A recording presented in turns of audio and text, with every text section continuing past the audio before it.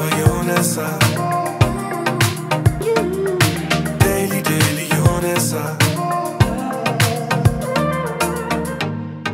Jo, was geht ab? Herzlich willkommen zu einem neuen Vlog. Leute, ich komme so durcheinander, wenn ich Insta-Story mache und vlogge.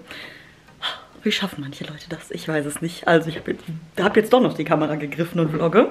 Es ist Dienstagmorgen. Ähm, ich werde jetzt ein Workout machen und das wird mein erstes Kraftworkout seit über zwei Wochen sein. Gestern war ja auch das erste Mal laufen. By the way, gestern hatte ich ultimative Schmerzen. Hier, wo der Schwabbel ist. Das tat so weh, ich konnte fast nicht mehr laufen. Und Fabio meinte, ja, bestimmt, weil du das erste Mal wieder joggen warst und so. Und dann dachte ich so, oh nein, das tat so weh. Aber Gott sei Dank ist heute alles wieder weg. Und ja, jetzt werde ich das erste Kraftworkout machen und ich glaube, ich werde wieder eins mit dem Spiegel machen. Da kommen übrigens super viele Fragen immer dazu.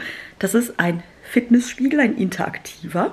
Ihr könnt da ganz normale Workouts drauf machen, die da drauf gespeichert sind. So sieht das Ganze dann aus. Und das ist übrigens dazu da, dass ihr euch parallel auch selber sehen könnt. Ich meine, hier ist jetzt gerade die Sammlung, aber wenn ihr das anmacht, sieht das halt ganz anders aus. Dann sieht das so aus.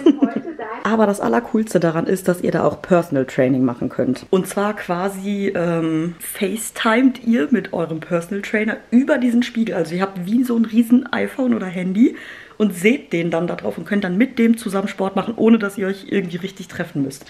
Und halt noch diese zusätzlichen Workout-Videos. Ich habe mich gerade geschnitten hier am Finger, ich blute.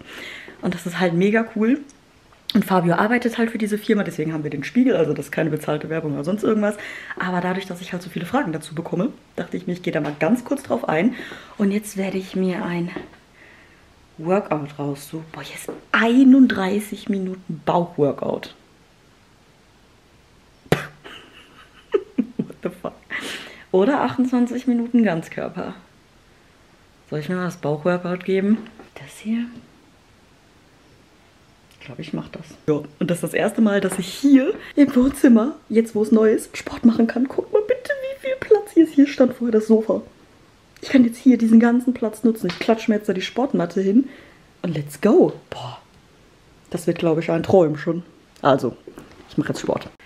So, ich bin ready. Das war echt gut. Also, ich habe jetzt zum zweiten Mal mit diesen Fitnessbändern trainiert, aber zum ersten Mal Bauch mit Bändern. Ich hatte ja einmal so ein paar oder eine, glaube ich, nur Armübung.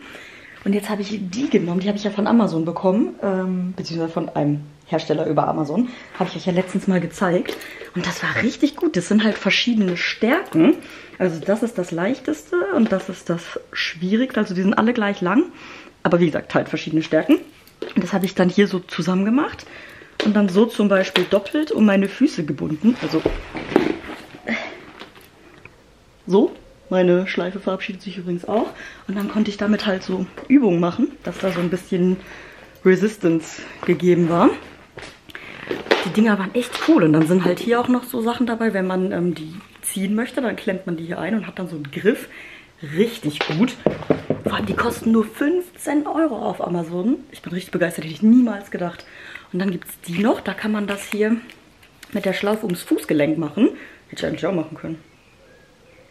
Hm. ich kann das ums Fußgelenk machen, hier die Dinge einhaken. Mega. Und dann war hier noch so ein Zettel dabei. Habe ich gerade ähm, gesehen. Das ist übrigens unbezahlte Werbung, ne? Muss man ja immer dazu sagen. Und da sind auch mega viele ähm, Übungen noch drauf. Und hier sieht man, das Schwarze ist für 13,6 Kilo. Oder was heißt das? Dass das so viel aushält oder so viel Gewicht gibt? Was weiß ich. 13,6, das grüne 11,3, das blaue 9,1, das rote 6,8 und das gelbe 4,5. Ich habe jetzt das gelbe genommen für die Übung, weil ich das wie gesagt noch nie vorher gemacht habe. Und dann halt meine Hanteln. Ich habe einmal die 2 Kilo und 4 Kilo. Die habe ich mir, glaube ich, mal bei Ebay bestellt. Weiß ich gar nicht mehr. Ich hatte auch ganz am Anfang 1 Kilo, das waren so pinke. Ich habe ja auch schon ewig nicht mehr, weil die mir dann auf jeden Fall zu leicht waren. Aber ich wusste halt am Anfang noch nicht, was ich brauche. Ja, auf jeden Fall diese Bänder. Absolute Empfehlung. Ich kann euch die ja nochmal in die Infobox packen. Richtig gut. Hätte ich niemals gedacht. Vor allem für das Geld. 15 Euro für fünf Bänder. Und halt noch Halterung und alles dazu. Mega. Mega. So, und jetzt trinke ich mein Wasser. Ich habe auch ein bisschen Insta-Story dabei gemacht und ein paar Übungen gefilmt und so. Ja, war cool. War cool. Hello, ich bin wieder zu Hause. Ich war gerade arbeiten und noch kurz im Asiamarkt. Ich wollte eigentlich noch einkaufen gehen, aber das schaffe ich heute nicht. Ich muss nämlich jetzt noch ein Video schneiden. Voll kaputt, das war irgendwie anstrengend. Also nicht.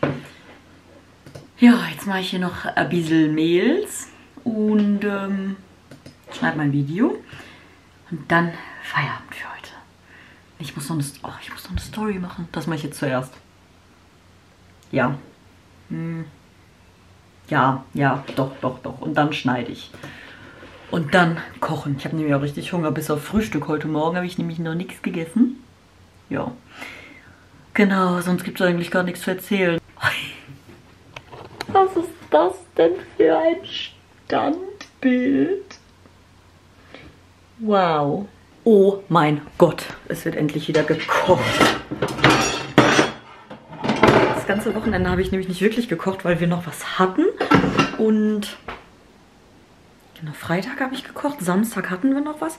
Freitag habe ich auch was richtig Leckeres gekocht. Das war auch so ein Thermomix-Rezept mit Spätzle und so einer Pilz-Weißwein-Rahmsoße.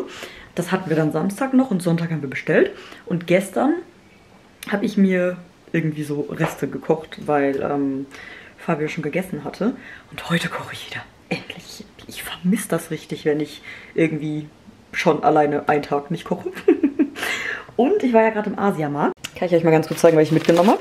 Und zwar einmal Udon-Nudeln, die brauchen wir nämlich auch jetzt. Und da war ich schon in ein oder zwei Asiamärkten und Fabio auch und die gab es nicht. Jetzt habe ich sie endlich gefunden. Dann habe ich einmal so ähm, japanische Weizennudeln irgendwie gekauft. Eine grüne Currypaste. Eine gelbe Currypaste. Da. Dann sicherheitshalber nochmal Sesamöl, weil das geht recht schnell leer. Und Fischsoße. Aber die gehört an manche Sachen dran. So. Und heute gibt es das hier, ein Udon Blumenkohl Curry. Das ist alles, was wir dafür brauchen. Erdnussöl, ja, habe ich glaube ich auch noch. Ja, wobei, das könnte auch leer sein. Dann nehme ich Sesamöl, mal gucken. Schalotten, Koriander. Ach Mist, ich wollte Koriander kaufen. Na egal, mag ich eh nicht so gerne. Ich nehme ähm, Petersilie. Ingwer habe ich noch. Rote Chili mache ich nicht rein, weil scharf. Knoblauchzehe, Kreuzkümmel, Kurkuma-Salz, Tomatenmark, Kokosmilch, Blumenkohlröschen und Udon-Nudeln. Habe ich alles da. Yum, yum. Fertig ist das Essen und es sieht richtig, richtig lecker aus. Ich bin mal gespannt, wie das schmeckt. Ich habe noch nie Udon-Nudeln gegessen. Bin wirklich mal gespannt. Nomsi. Übrigens, oft kommt es hin, dass die Thermomix-Rezepte genau die Personenanzahl, Portionenanzahl sind, wie sie sagen. Oh mein Gott, ich laber nur Scheiße. Das sind jetzt aber vier Portionen. Ich glaube nicht. Zumindest nicht für uns. Sagen wir mal so. So, wir gucken jetzt Blindspot und ich habe gerade ganz schnell noch ein Dessert gezaubert. Und zwar so eine Orangen... Kannst du mal fokussieren? So eine Orangen-Quark-Creme aus dem Thermomix. Sieht mega gut aus. Und ist bestimmt auch lecker. Komm, probier mal. Ich muss dir mal was sagen. Ja, Diese Runde ist so richtig verkackt bei Quiz. ist richtig. Und gar keine Chance. Gack, gack, gack, gack.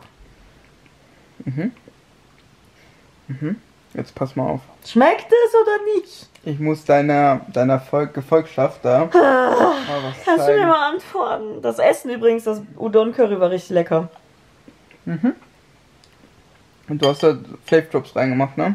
Ganz wenig aber nur. Ja, aber die schmeckt man extremst raus. Vielleicht ist das aber auch die Orangenschale.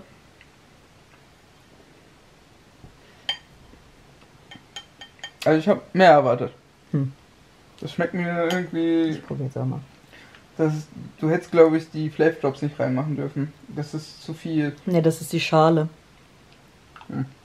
War wahrscheinlich mehr als Hm. gedacht. Und wir hatten ein Eiweiß zu wenig. Ups. Woher kommen die Schöpfer des Brettspiels Trivial Pursuit? Ich England. würde sagen, England? Ja, weiß ich nicht. Nee. Ich kann dir doch die Antwort nicht sagen. Ja, toll. Ja, dann tippst du es doch gleich ein. Ja, gucken wir jetzt mal weiter. Ja, warte kurz. Moll. Du wolltest noch irgendwas zu meinen Followern sagen. Ja. Willst du zeigen? Wie dumm ich bin. Richtig. warte kurz. So. Also. Ich habe mir Quizduell nur wegen dir runtergeladen. Dementsprechend habe ich mich bisher auch nur mit dir angelegt, ne? Mhm. Also. Ist ja meine Statistik erstmal kurz dazu. Mal ganz kurz. Erstmal dazu.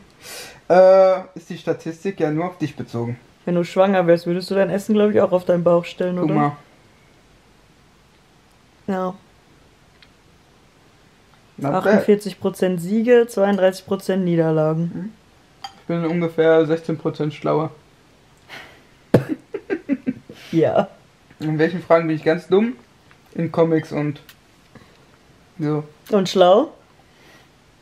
Am schlausten bin ich in Wunder der Technik und Körper und Geist und Computerspiele. Und ich, Achtung, Essen und Trinken.